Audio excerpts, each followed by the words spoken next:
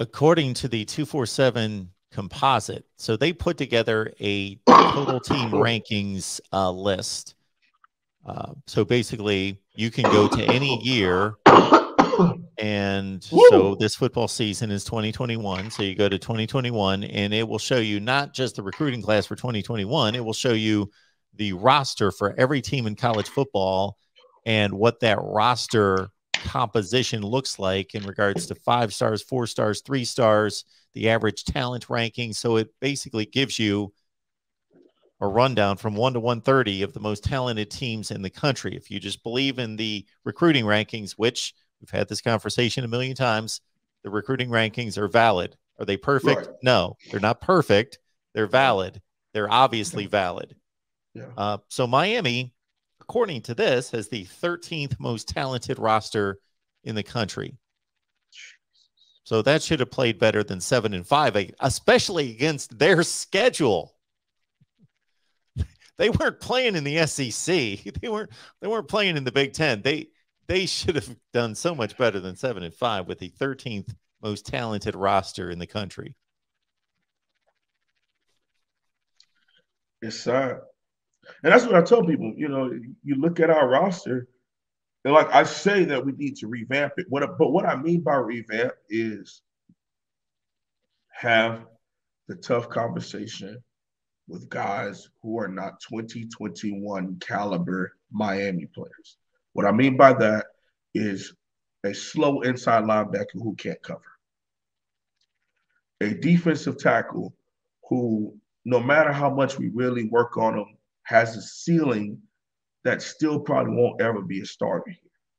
And we're gonna even we're gonna end up out recruiting and over recruiting this person, doing them a, a due diligence because they're not gonna be a redshirt senior here and they're still a rotational guy. Why? Let's not do that. Have the guards and tackles who haven't taken this program serious, who have been around since 2016, 2017, who are wrote who don't play they don't care to play. They don't care to make their times. They're just here to go through life, wear the U, wear the uniform, and get a free scholarship. We need to get them out the program. Cornerbacks who are project players who aren't going to play here, get them out. Wide receivers who continue to get hurt, have them sit and have that conversation with them and say, listen, you want to play, you want to contribute, go somewhere else. That's what I mean. Because for you to say that, that means we're probably in that top 30 to 40 range of blue chip people. Maybe we have anywhere from 30 to 40 blue chip prospects on our team right now to be the 13th ranked team, somewhere in there. Couple borderlines, but for the most part, we got some in there. And then I tell you this the other thing, Mark, is having a fair system. You got a five star top 10 player in the country and Leonard Taylor on your team, and the guy gets five snaps a game. Come on, man. Come on. That just that just doesn't make any sense. And he was showing something in those five snaps. Man, was, out there. I'm I'm just watching the game against Virginia. I think that's the first time he got any kind of reasonable time on the field against Virginia and I'm not even looking for him. I'm just watching the game, and all of a sudden I see Leonard Taylor like smashing down guards and getting into the backfield, and I'm like, okay, I I, I see him, and I I've I've known about him obviously, but I recognize that that he's in the game. Yeah, and you wonder why you don't see him again until the next game, second quarter.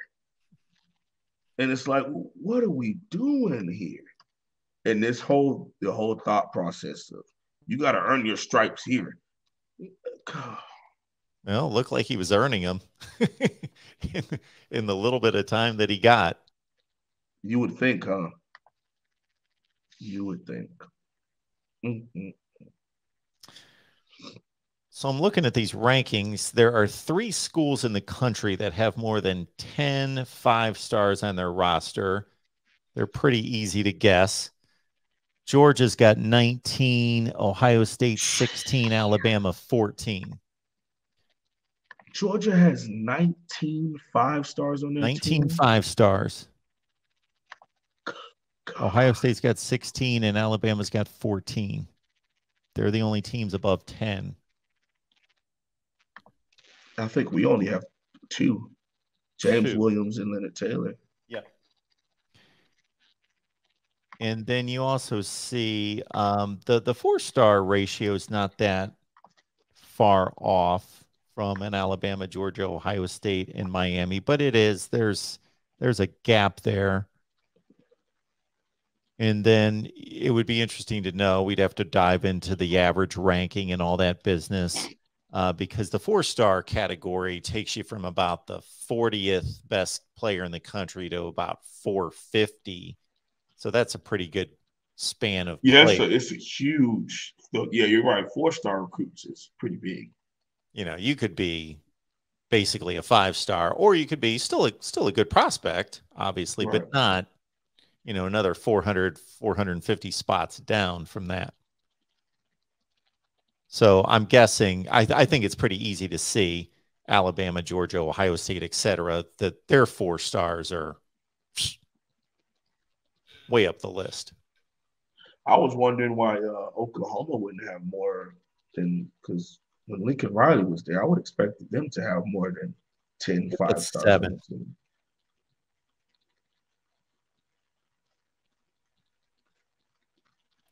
And again, I, I just think it's pretty definitive that the the college football playoff there's basically been six schools that have played in the college football playoff. When you really look at it that have done anything even Oklahoma they haven't played well but they've shown up four times.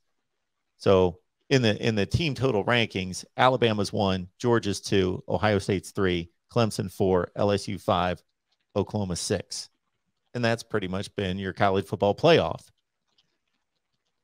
Simple.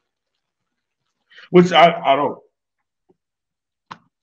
I've always had that discussion about the the uh, expansion. Dude, it's it's mind blowing to me. I, I, I think the four is cool.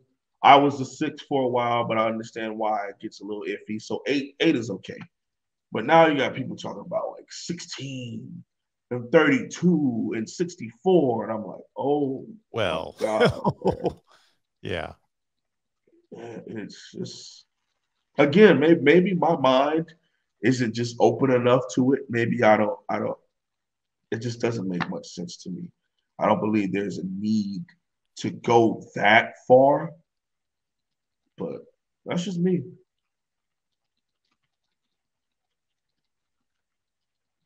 Yeah, I would like to see it expanded to eight.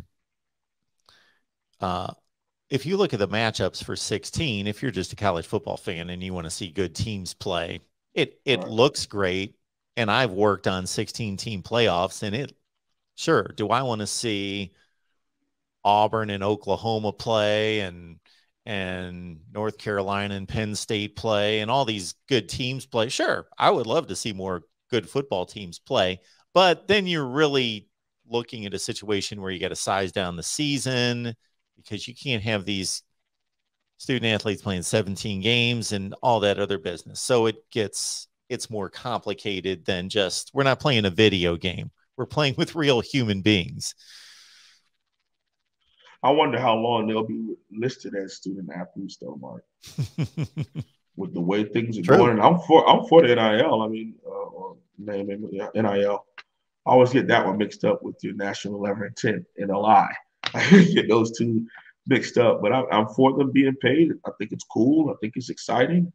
Uh, we're in the, the infant stage of it, but I don't think it's been that wild. Texas paying people, you know, their parents' salary is ridiculous, but that's just me. I, I did. We got to figure out somebody to come in and regulate this because if they're going to start the market at 100K, you best believe Georgia and Bama and LSU are going to hop right over top of them at about 200K. And then it just turns into a free for all if we can't, if we don't have a committee or, you know, whatever, just come to an agreement on how to cap it and keep it within reason. Uh, because it could it could turn into just like the people who want 64 team playoffs. It could turn into madness if you don't if it's not regulated.